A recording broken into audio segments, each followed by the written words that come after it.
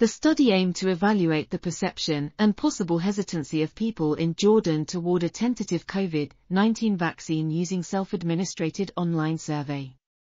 The results showed that most participants believed that scientists have adequate tools to develop a safe and efficacious COVID-19 vaccine, but around half of them reported not having adequate information on the benefits of COVID-19 vaccination.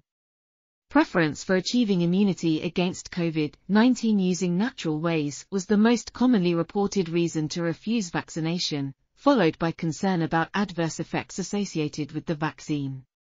The study recommended educational campaigns using television and social media to better inform the public of the benefits of COVID-19 vaccine in reaching a herd immunity-based strategy to control the current pandemic. This article was authored by Rana K. Abu Karem H. Zubi, Omar F. Kaba and others. We are RTCL.TV, links in the description below.